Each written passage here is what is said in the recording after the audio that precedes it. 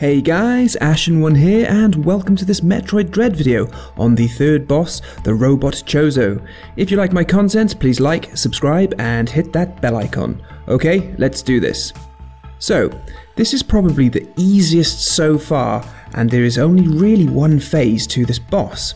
The boss has four attacks, two ranged and two melee, which won't give us any real trouble at all. As soon as the fight starts, just run to the right side, keeping your distance from the boss. This is going to be a thing we're doing throughout the fight, as keeping your distance makes things very easy. And when you can, you want to just be launching missiles at him as much as possible.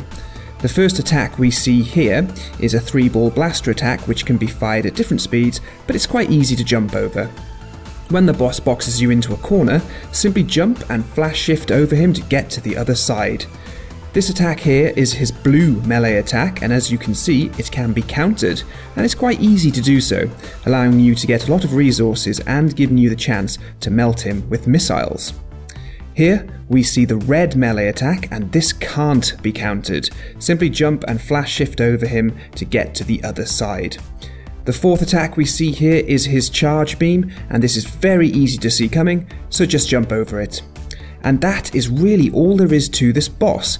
Get to one side, melt him with missiles, jump his ranged attacks, and jump and flash shift his melee attacks if you don't feel confident enough to counter the blue melee attack. So, before I let this short fight run uninterrupted, let me know in the comments is there anything I missed and how did you find this boss? Cheers, guys, see you in the next one.